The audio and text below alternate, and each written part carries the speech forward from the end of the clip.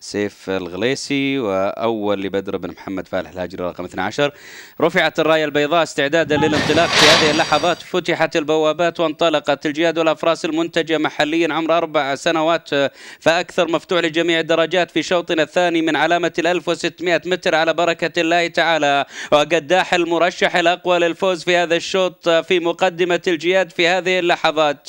وكما تشاهدون في هذه اللحظة أيضا المنافسة قوية والتقدم لقداح المرشح الأقوى للفوز في هذا الشوط. المحاولات كذلك للمستكم المرشح الثاني في المركز الثالث في هذه اللحظات. ومن الخارج صوال يحاول الآن أول يحاول في هذه اللحظة في المركز الثالث في هذه اللحظات. التقدم أيضا لصوال في المركز الثاني في هذه اللحظات.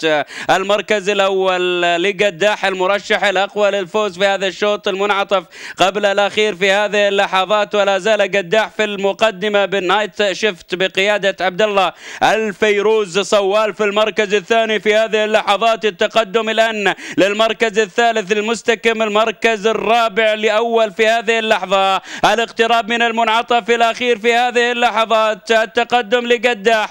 المحاولات من الخارج الآن لصوال والمحاولات تأتي للمستكم من الخارج الآن. في تقدم رائع للمستكم في هذه اللحظات.